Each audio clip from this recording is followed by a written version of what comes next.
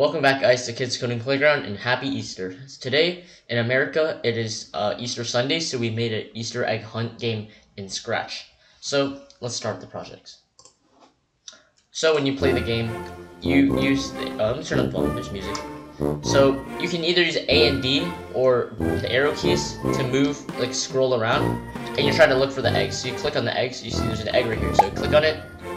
So, I'm just gonna find all the eggs, there's one right there. And also, there's going to be 12 eggs. So, uh, we already found three right now. There's one right here. Uh, one right here. One right here. So basically, it's just like an egg search game. One right here. One on the scratch bus. Uh, that's 10 eggs. Okay, we have two more. There's one in the tree and one behind the duck. And then once you get all of them, it says you win. And then up here we have the timer, so like that's how long it took you to get it. And here we have the fastest time. So that's my fastest time so far. So basically this is like high score kind of. Okay, now let's start a new project. So let's get into a new project and we're gonna first let's rename this project. Let's name it egg uh, Easter egg hunt. Easter egg hunt. Okay, Alright, so next, let's get stuff from our library. We're to delete the scratch cat. So, it took us a really long time to get all these sprites. So, if you don't want to do it, we have a, cost, a copy of this project down below. You can remix it so you have a template to do. So, you don't have to, like, do all the code. Like, I mean, make all the costumes and get them all by yourself. Or you can download it if you want and draw it if you would like. But we have a copy in our description so you can download it to get a template of it. So, here we have our ground so it took us a long time to get all of these and make it look well. Here are the eggs. This is the uh, scrolling background. And then here we have the win sprites. And the other ones we can just draw. Um, so here we have the ground, right? So costumes. So we have a lot of them. So basically we just like use the assets from the Ninja platformer to um, do this. And this is actually wrong. Uh, forgot to change it. It's actually supposed to be 12 eggs. So uh, here we have all of our costumes. So we use some of the assets from the Scratch library and some from the Ninja platformer. Here we have the eggs. It's just, we just drew a oval kind of.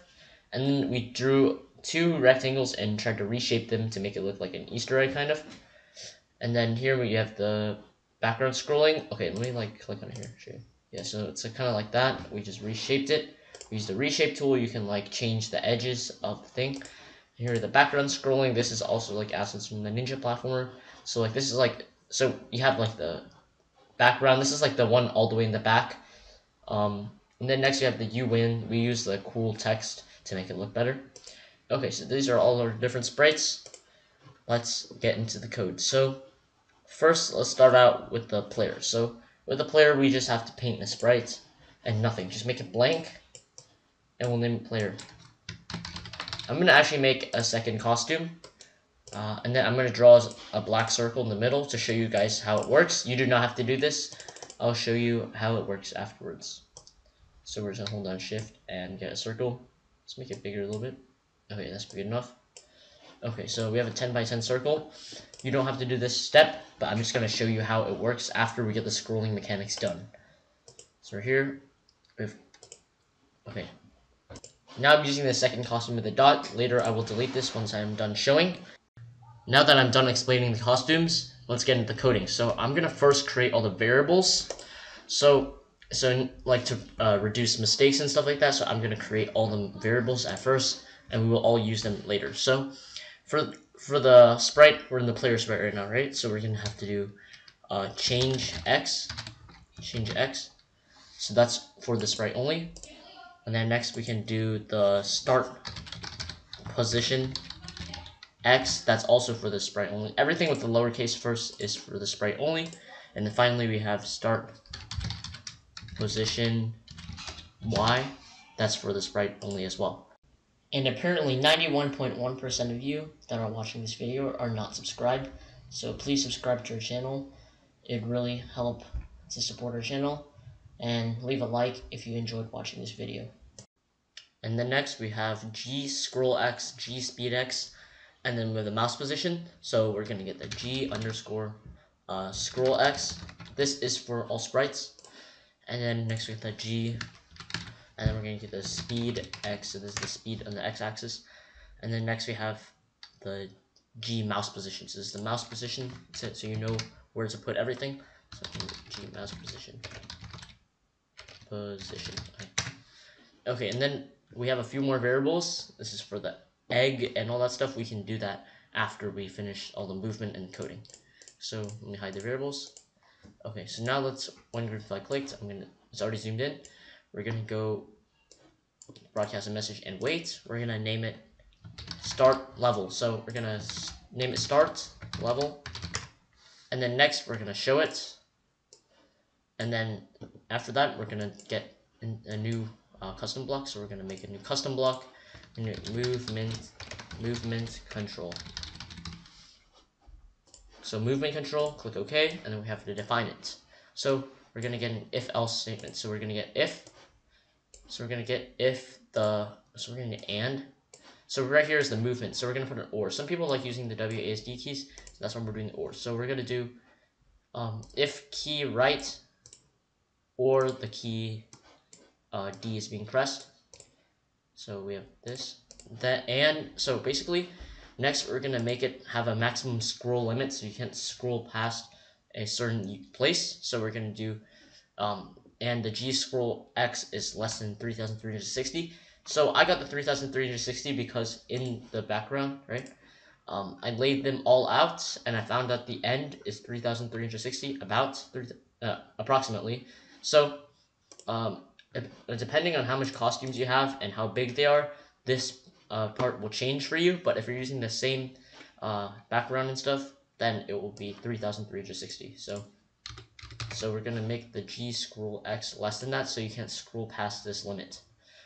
G scroll X, and then next we're gonna get a set speed X. So this is the movement of the player, so speed X, we're gonna set it to 10. And then next, we're going to get another if-else statement, so we're going to put it inside the else. So this is the movement for the left and right, uh, left and A keys. So we're going to do left key and then A key. And next we're going to get, we're going to set the speed X to negative 10. G speed X to negative 10. So this is scrolling to the left, so it'd be negative 10. And then after that, we're going to make it, if it's standing still, then it will not move. So we're going to set the speed X right here to 0. So this is if none of the keys are being pressed down. So here we have this code right here. This is the movement, the start. Okay, next, after this, we're going to get uh, when I receive. So when I receive start level, we are going to start coding in here. We're going to set this player to go to negative 200 and then y0 in the beginning. And then we're going to set uh, g scroll x to 0. So in the beginning, you're not scrolling, so we're going to set it to 0. We're going to broadcast three different messages. So we'll use them later. So first, we're going to broadcast reset and wait. Broadcast another one. We're going to name it setup. Setup. And then next, we're going to name one start game. So broadcast start game. So we're going to use the start game right now, actually. So start game. So right here, move this down. When I receive start game, when I receive start game, uh, we are going to change the ghost effect by zero. So we're setting the ghost effect to zero because we I want to show the dot.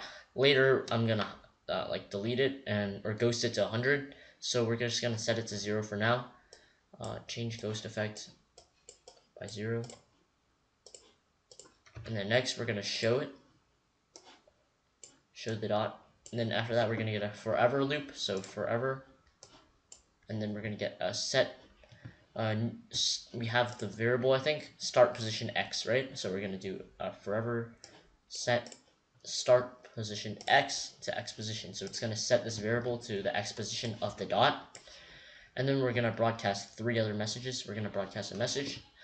We're going to name it start all control. So this is going to start the control, the movement control of the player.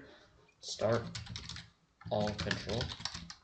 And then next we're going to do another one. So broadcast To name it calculate scrolling. Cal calculate scroll scrolling. So calculate scrolling. And then one more, we're going to name it move ground. So this is moving the background. Uh, moving like the ground where like you can click on the eggs, of course. So we're going to move ground, move ground, and then here we have our broadcast. We're going to broadcast when I receive start control, start all control. We're going to call this block right here movement control, and then we're going to change the x by the g speed x, so it will actually move. G speed x. So now I'm going to play the project. As you can see, the dot is moving, so it's going to be scrolling with the background. Okay. Next, let's get onto the calculate scrolling. So right here is, we're going to, when I receive, maybe I'll do it here, so it's better. When I receive, calculate scrolling, we're going to set the change x uh, to the x position minus the start position. So we're to do the subtraction. X position which would be set to the start position. So we're to do the x position of this thing minus that. So basically this script basically just points to wherever the dot is based on the zero. So like it could be like right here.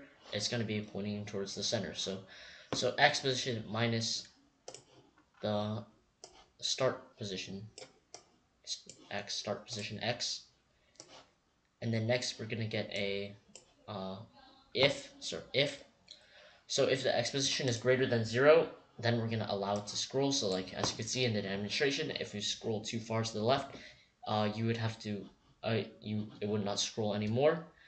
Uh, so we're gonna do if x position is, uh, we're gonna duplicate that, x position is greater than zero, then we'll allow to scroll to the right. So we're gonna change the g scroll x, g scroll x to by ch change x. And then next we're going to change the x. So this is uh, going to change the x by 0 minus the change x. So 0 minus the change in x. Okay, and then next we're going to get if then statement. So if, so we're going to do if the x position is less than 0, so and g scroll x is greater than 0, so we're going to do if x position less than 0 and g scroll x is greater than 0. So we're going to get g scroll x is greater than 0, so we're going to put the g scroll x right here. 0, then we're going to change the g scroll x by change x. So this is the scrolling, we're going to change this scroll x by the change in x. Oops, I want to duplicate that. Oh, I can't get it from here. And then next we're going to change the x, same thing right here, we're going to duplicate this. So this is just basically this script is just basically checking if the player is allowed to scroll. So it's going to check. Okay, so here we have all the code I think for the player. Save project. So right here, doesn't really do anything, right? It just moves. So we have to get the uh, like the background and stuff like that to start scrolling for this part to work. So, so as you can see, if you open the variable g scroll x, as you can see, after you pass a certain point, it will start scrolling. So when you get it back to zero, it will stop scrolling. So basically it just stops there and now it just starts scrolling. So that's how the scrolling works. Okay, so we're finished with all the code in the player.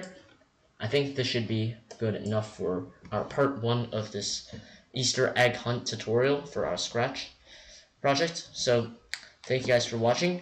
Don't forget to like, share, and subscribe, and ring the notification bell. Uh, and I'll see you guys in the next video. Thank you guys for watching.